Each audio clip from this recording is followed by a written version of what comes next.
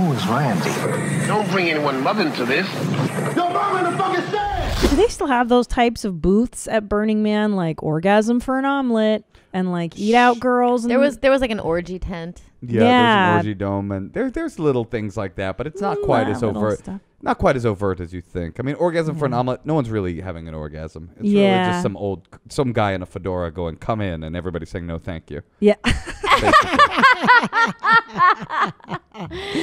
that's true. And do you shower? You don't. You can't really shower at Burning Man, yeah? for no, those two I, days? I have a proper. Tell them about Dr. Bronner's where we shower. that is pretty fun, actually. There's a camp that Dr. Bronner's you guys does. would hate it. the soap company. the soap company. They're a really progressive hippie company. Yeah. and uh, they're a cool company. I like their actually. eucalyptus soap. Well, I like the almond. Mm-hmm. And they go out there every year. They have a big camp and they do like a big dome where they have a party and you have to wait in line. You line up for like hours to get in. Naked.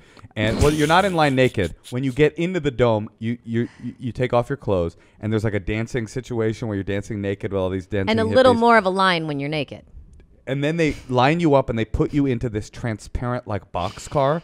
And it's hmm. kind of, and and then they they come up on top of the box car and they spray you with Dr. Bronner's foam. It's hmm. like we were calling it like the fun Holocaust. It was like it felt very Holocausty, but like kind of cool and Yeah, fun. silly. There's techno playing, you're getting Yeah. clean, but it feels very like Auschwitzy because they're like spraying you down. with ho- Auschwitzy. Yeah, but it's and- definitely the closest I've ever been to like penises that I'm not fucking. Yeah. Yeah. You know, And like that's they're all around you. I don't like that. And is there? But is that the only shower you're getting over four days? Because that playa sand is is no, I- It's the only is one no I got. joke. no, I have an RV. I own an RV, and we I shower in the Oh, RV. You do your own showers yeah, there. yeah, okay. yeah. But I don't let Natasha in. yeah. No, you she showered stays in out. my you showered in my shower. I, I took a shower in there, Yeah. but I would always like to go to Dr. Bronner because it felt. It felt Felt- nice to have that many dicks around you. It was just a nice feeling. hot. I mean, Yeah. it's really dusty there. It It's- is. It, you can't. Oh, have you been? I've been there. I worked on a TV show, and I got to go inside and see. So what you the camp felt like that- like. okay, I've wow. not participated in it, but Wait, I've seen the camp. You went to Burning Man for the show. hmm So that as uh, it was called the Hitchhiker Chronicles, and we picked up hitchhikers. And one episode is we went to Burning Man, and so they let us in, and I got to just drive around and pick people up and interview them throughout the course That's of the day. cool. Is It that was really out? I want to see Yeah. that. It aired a million years ago after Hurt Bert, Bert Kreischer's show on FX. It's, Oh, it's yeah, like I remember old, that. yeah. Okay. But it was cool. I liked it. I That's mean, a cool there's experience. Yeah, to to- see like That's the, perfect way to see it. Yeah, because I wouldn't. The only reason the deterrent for me is the the weather. It's so hot. It's gnarly. There's no And- no question. And sometimes you it's really so love it, cold. right? I love Yeah. it. But You at love it. night, sometimes I had like my my toes were numb when I was working in the cafe at night. One of the years, like so, it's like kind of uninhabitable. Yeah, it gets like super It's hot and then super cold some years, and it's just you- way too dusty. Do you go? Wait, The you don't go dust every is year though. right? Or terrible. do you? Oh no! But Moshe's already pitching it to me like now in February. I wanna if bring it's the okay kid. if he goes. I want to bring the Wow. kid. Not a lot this of year. people do. I think it'd be. What's what is You want want to bring her this year? I'll bring her this year, next year, whatever. What's the thrill for you there? For me, like I think that the um that I, I like extreme experiences. I like weird. I like weird shit. It's why I like comedy. I like to laugh. I like things to be weird and odd and odd people. That's mm-hmm. why I like comedians.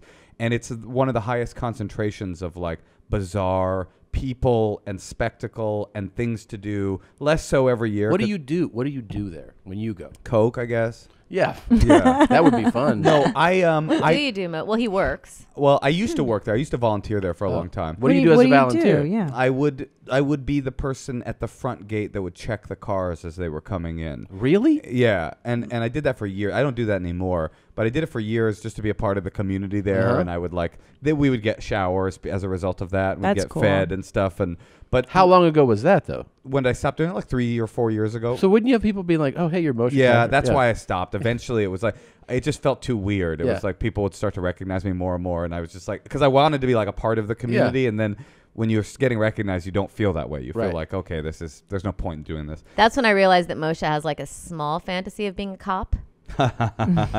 like he likes like telling people what to do a little bit and like like I don't have that at all. Like I don't want to ever tell someone they're in trouble. I yeah, know. that's also why I quit because I said, but well, whatever. What I do when I go there is I, I generally You're like the the gatekeeper. I like to like wander around, take in the the artwork, take in the spectacle of it, uh, uh, meet people, and just have weird. Sunset's beautiful if you bike mm. around. Just have weird interactions. we have weird interactions, see people on the extreme fringes of life and society, and then at night I go we go dancing or we'll go listen to. j- There's so many things to do. And then where will you crash? I I'm have an. R- my RV. Oh, you have your RV. And Yeah. can you go brown and can you pee and poo in your RV? Because I, I, I remember can. there were porta potties and that Yeah. looked terrible. Portos. Yeah. they're Oh. I would hate that. I can go brown. We did that though. The first year I went, I had to go in the Portos, No. and I was pregnant one year, no and it was really rough. in the heat. yeah, Oh, so wait, Natasha. is your RV? Um, you own an RV? I, own did an it to RV. show him I was fun. Wow. Yeah. I, I own an RV and it was and it's it's I'll it's kill the most im- it's literally the most important thing in my life. Do you have people like when you're so there's air conditioning on that? Yeah. Do you have people when you have an RV and you're at an event like I know nothing about it? Yeah. Are people knocking on it like, "Hey, can I crash with you?" Is that like a? Yeah, like I brought a I brought a friend last year and he was in a tent and I would let him come in and shower once in a while. you don't have people harassing you because you have the like RV? random people? Yeah. No, No, most no, people no, have no. their their own stuff situation. situated. Yeah. Well, they spend. I mean, there's people who spend all year preparing a float, or Yeah. like right, they prepare artwork that's Yeah. movable and it goes along the playa. And Yeah. Do they people set it really on fire prepare at the for end? this. They said like The like man, this right? last year there was a there was a, a an installation that was like it was crazy. It looked like a Peter Pan like fantasy house and it was Mhm. like 3 stories tall. It was probably it was probably 50 feet tall. I mean it was gigantic Yeah. and there were towers. It looked like literally like from a movie set of a Peter Pan film. Yeah. And it was like super intricate old like magical looking house. You climb a spiral staircase and there'd be books up in the t- in the top little attic. And then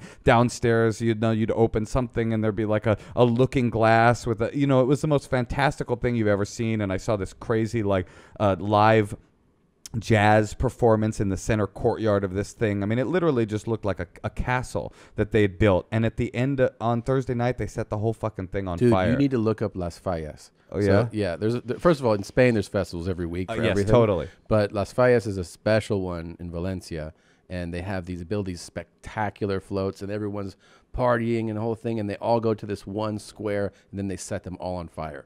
It's it's it is a it is a spectacle. So that I think okay. So Europe and and and the old world does this better than America. America. Mm-hmm. Uh, the problem I have with America uh, is that when people moved here, when immigrants moved to this country, the the the charge was get rid of your old archaic Yes, ways and yeah. become American. Right. And as a result of that, there's some positives to that. The negatives to that were that we got rid of all the, our rituals. Yeah. And you go to a place like Europe or you go to like uh, you know uh, the old world, and there's still these crazy rituals, and that's what Burning Man to me.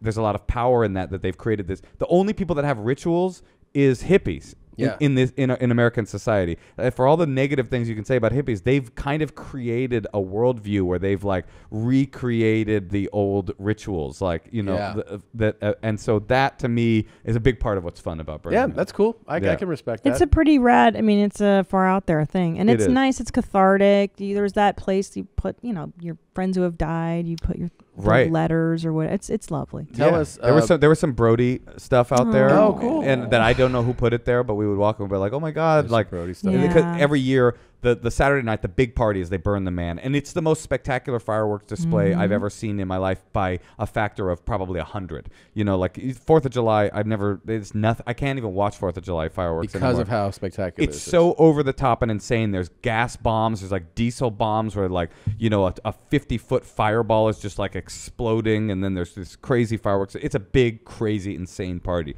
But Sunday night they build this thing called the Temple, which is where people uh, uh, they go and they put the memories of the people that they've lost in the last year. And it's a really I'll tell you what's powerful about it is you see how much loss there is in a community of just 70,000 people, and then you start to realize like oh, this is just 70,000 random people. Like everybody's experiencing this level of loss with nowhere to put it. Because we don't have ritual, because we, we've, we've done away with a lot of that, we don't have anywhere to put our loss. And so you see like, wow, all this whole community is leave. And you, and like I said, it was a trip. I would walk into this temple and see like, friends that have passed of mine and like I wonder who put that here and then like there was you know like I said a Brody cutout and there was like somebody had printed it up and um, anyway and then they set that on fire and that's not really a party that's like pretty much silent there's a silent on Sunday night nobody parties they just set this thing on fire it's a pretty beautiful experience Yeah, it's nice.